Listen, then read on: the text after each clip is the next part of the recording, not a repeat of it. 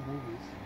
There. Yeah, But, Hindi ones, Hindi yeah. Yes, there will be too. There's a lot of. But which lot area go?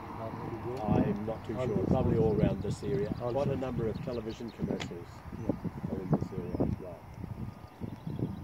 This is a beautiful.